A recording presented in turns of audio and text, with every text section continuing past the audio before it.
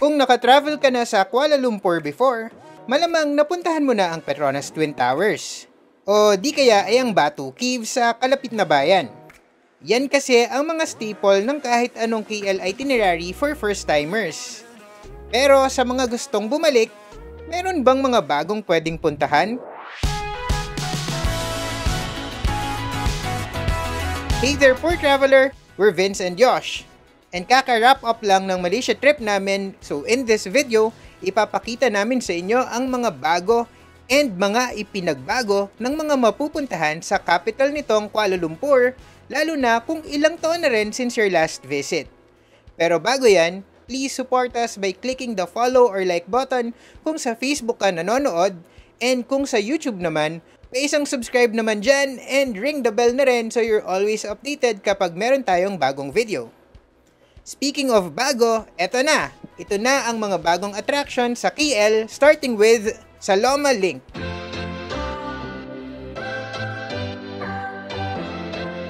Sa haba nitong almost 70 meters, ang Saloma Link ay isang pedestrian and cyclist bridge na kinoconnect ang modernong KLCC sa Old World Village ng Kampong Baru. Sa totoo lang, hindi namin ito alam until i-recommend ng AirAsia ride driver namin noong papunta kami sa Petronas Towers. Sabi niya, since kaunting lakad lang, isingit na rin daw namin dahil maganda naman daw. Attack kami agad dito and totoo nga, maganda ang view ng Twin Towers from here and kung gabi ka bibisita, nakadaragdag din sa charm nito ang mga nagniningning na illuminations ng cover nito na pabago-bago rin yung mga kulay kaya nakakaaliw at nakamamangha. Lalo na kung andito ka sa may tunnel. Magandang aura-aura and photo spot ito. Ang dulo naman nito, ideal na viewpoint para sa Petronas Towers and mga katabing buildings. Itinayo ito noong February 2020, halos isang buwan lang bago nag-lockdown ang maraming bansa sa mundo. Kaya't most international tourists ay hindi pa ito nasisilayan. Designed by Veritas Group, ihinawig ito sa beetle leaves na madalas ginagamit sa traditional na Mali wedding. Ipinangalan naman ito sa Malaysian-Singaporean singer na si Saloma. Sa paanan ng Saloma Bridge, you'll find an area called Kampong Baru. Kahit na New Village ang translation ng pangalan ng lugar, hindi naman na ito bago. Sa katunayan, isa ito sa mga natitirang traditional Malay stronghold sa city na dinodominate na ng mga modern structures and establishments. Pero paborito ito ng mga locals dahil maraming masasarap na finds dito. Pinaka-dinarayo dito ang mga time-tested ng mga kainan na ilang dekada na ring nakatayo tulad ng Nasi Lemak Wanjo and Soraya Seafood. Pero over the past couple of years ay may mga bagong stalls and cafes na rin na nagsusulputan.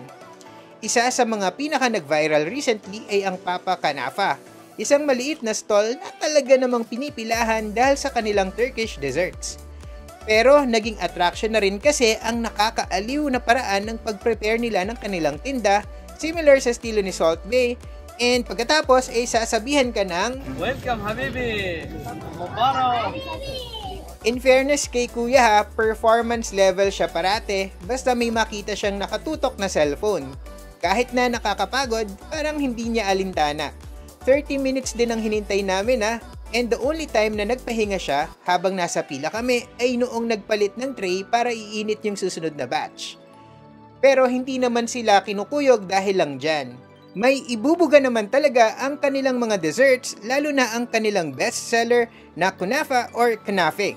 Isang baked pastry na gawa sa kataifi or shredded phyllo dough and topped with pistachios for garnish and texture. May dalawang klaseng palaman nito, cheese and cream. While we didn't care too much about sa cream version nila, worth the pila naman para sa amin ang cheese kanafe nila. Sobrang stretchy and gooey nung cheese nila and malasa din, complementing the sweetness ng syrup. Habang nasa pila kami, the staff also handed out a serving of this sweet treat. Ipalibre sila. Ang haba kasi ng pila. Ang sarap ng churros. Pero fake news yang si Asta dahil hindi yan churros. Yan ay bala el sham na matamis na deep fried finger fritters that look and taste like churros. It was a nice gesture and since nagustuhan namin, napabili na rin kami nun.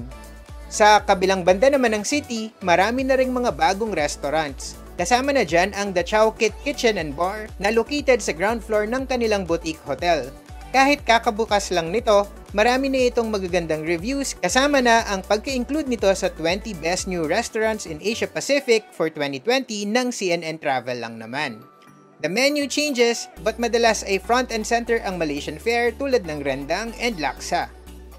Dahil ilang araw lang ang inilagi namin sa KL and mas nag-focus kami sa mga mas established ng street food na i-discuss namin sa ibang video, ito pa lang yung mga bagong places na natry namin.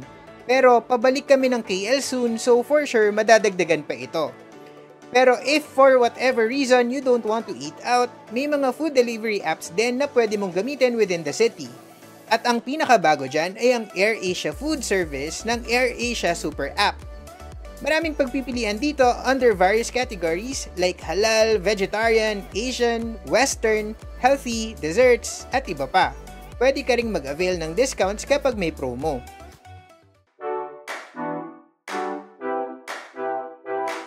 Isa pang lumang district na nabigyan ng bagong buhay recently ay ang Chinatown. Kung nakapag-KL ka na before, malamang nakatapak ka na dito, lalo na dito sa Petaling Street isang sikat na 800-meter shopping strip. It has seen a number of transformations since unang dumating ang mga Cantonese and Hakka tin trade workers noong 19th century dito. Pero pinaka-evident ang transformation sa Lorong Panggong, also known as Kwai Chai Hong. Hindi ko alam kung tama yung pronunciation ko, pero basta parang ang dami ko nang na-murder dito na pronunciation sa video. Pero yun, tinry ko naman guys. Anyway, Dati ay malamlam at tila napabayaan na ang alleyway na ito pero nang mag-reopen ito sa publiko noong 2019, ang bumulaga sa kanila ay isang charming na heritage site na malinis, makulay at nababalot ng street art and murals depicting the Chinatown of yore. The project covers the restoration of 10 pre-war shop houses, 6 on Petaling Street and 4 on Lorong Panggung, bringing back the 1960s glory days of KL's Chinatown. Sa ilan sa mga ito, pwede kang mag-food trip. Dito sa Bunchun Restaurant mo matitikman ang egg tarts na patok na patok since 1893. And kung familiar kayo sa Beryl's, ang homegrown chocolate brand ng Malaysia, may cafe rin sila dito. Andito rin ang Pandan Republic, also a local favorite na best known for its breakfast and dessert offerings like Hakka Lecha, Pandan Gula Melaka Cheesecake, and Pandan Soft Serve.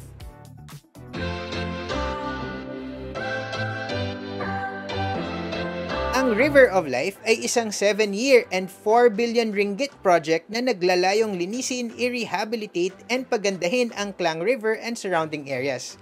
But for most tourists, it usually refers to this part, where it meets the Gombak River. It best exemplifies kasi the impressive transformation. And tama lang because Kuala Lumpur means muddy confluence, referring to the convergence ng dalawang ilog na ito. Suffice it to say na historically important ang spot na to and nakakatuwang ini-improve pa nila ito lalo. Siyempre, nakatayo pa rin dito ang centerpiece na Masjid Jamek dressed in Moorish architecture. 1909 pa nang ito'y unang binuksan. So, luma na itong mosque pero what's new is what's happening around it. You can enjoy a view of the confluence from this lookout kung saan una kang babatiin ng mga higante and intricate murals tulad nito. These murals cover the entire facade of the buildings. Bagong dagdag lang yung mga works of art na ito, so baka wala pa yung mga to nung last KL getaway mo. Kapag naggabi na, the site is flooded with blue illuminations. We were also told that a fountain show activates every 20 to 30 minutes or so, creating a splash of magical visual display to various familiar tunes. Yun nga lang, tanghali nung kami bumisita, so we didn't get to see any of these light and water shows.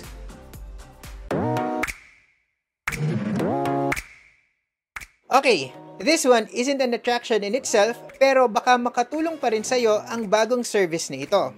Yep, aside from food delivery, pinasok na rin ng AirAsia ang ride-hailing via AirAsia Ride na available through the AirAsia Super App, ang sponsor ng video na to.